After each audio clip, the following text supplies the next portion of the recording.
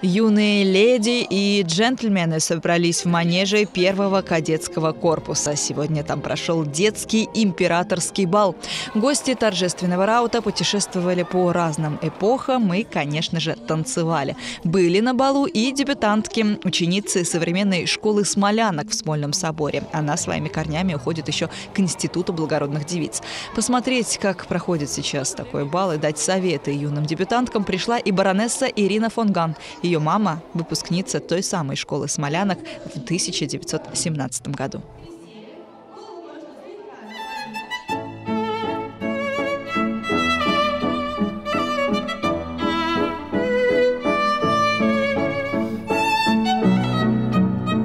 Смолянки у них, конечно, были э, более-менее ну, привычные эти балы. Они у них по поводу церковных праздников. Ну, в общем, у них были довольно частые балы.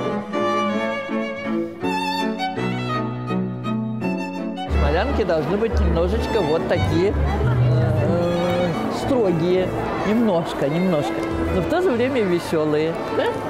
У них были очень приличные камлотовые платья с коротким рукавом, белые рукавчики, белые воротники, белые э, передники. Поэтому они всегда были нарядные. Но прически были очень строгие. А вот когда бал, бал, вот тогда они могли позволить себе что-то и не такого. Они же все прекрасно танцевали. У них были уроки танцев, уроки пения. Они музыкально были образованы изумительно. Вообще образование было на высшем уровне. Здравствуйте. Замечательно. Снимаем шляпу и вот таким движением наклоняемся. Вот эта девочка у меня прям прелесть.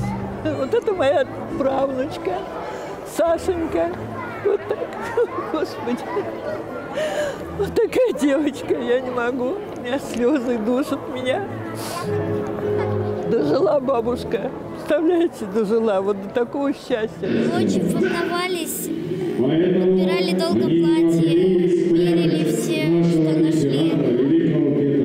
Подбирали туфли, веер, чтобы все было красиво. Тут очень красиво было.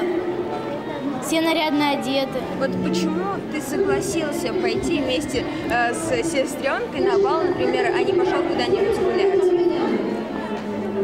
Интересно было.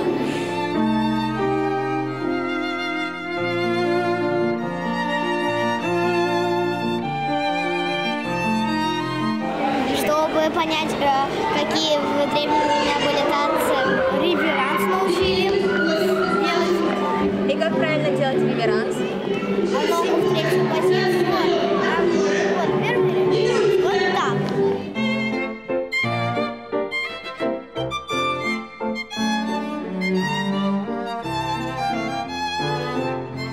Я увидела вообще, что было в другие времена прошлые, как танцевали, какие делали реверансы и все остальное.